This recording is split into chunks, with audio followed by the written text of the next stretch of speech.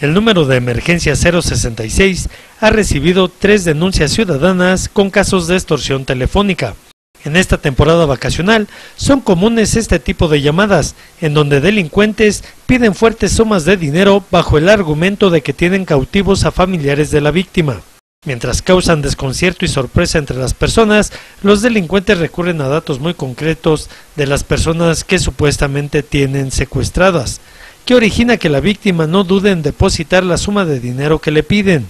Ante esta situación, el director general de Seguridad Ciudadana, Samuel Ugalde, pide a la sociedad que cuando alguien desconocido le llame tratando de extorsionar, cuelgue y lo denuncie inmediatamente. El día de ayer se recibieron tres llamadas al 066.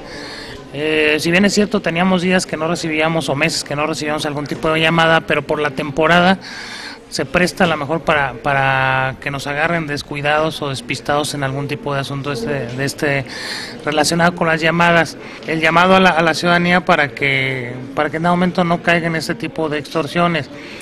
Hay un, hay un programa, y bien lo señala en la, en la Procuraduría General de Justicia, de, de colgar a la extorsión colguemos a la extorsión, es decir, cuando se recibe una llamada, lo más recomendable es colgar.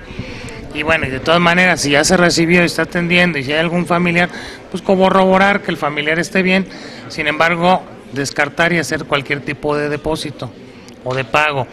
Inmediatamente denunciarlo o reportarlo al 066 y también denunciarlo pues, ante las agencias del Ministerio Público, sobre todo para tener conocimiento y saber en dado momento y apoyar nosotros eh, sobre todo este tipo de llamadas. No sabemos que hay gente que está fuera de la ciudad, sabemos que hay gente que regresa, sabemos que, que es el traslado de, de un lugar a otro y a veces se utiliza este tipo de situaciones porque no tienes a la vista a tu familiar o no tienes a la vista al amigo, no tienes a la vista, ¿por qué? Porque están de un traslado a otro.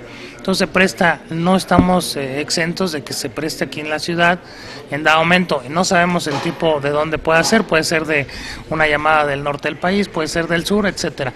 Sin embargo, lo que sí, lo que sí estamos seguros es de que con el apoyo de ustedes, de, de Canal 45 también que nos apoye a difundir este, este mensaje, y sobre todo que se acerquen a la autoridad. El funcionario explicó que la delincuencia actúa de diferentes maneras para cometer fraudes y extorsión por medio del teléfono.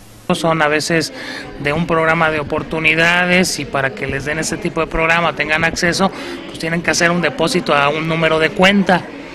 Algunas personas no cayeron, sin embargo, hay otro en un reporte de una persona que vive aquí en la ciudad eh, y trabaja en la ciudad de, de Silao nosotros atendimos el reporte por medio de su esposa, donde aparentemente recibe una llamada que, que lo iban, un tipo amenazador, además que pues que tenía que hacer un depósito en tal, en tal banco, en tal lugar, para que no le pasara algo. Dentro de eso, la persona, en lugar eh, de haber colgado, pues realizó dos depósitos, uno en una tienda departamental, Coppel, y en otro realizó en, en Banamex, en el banco.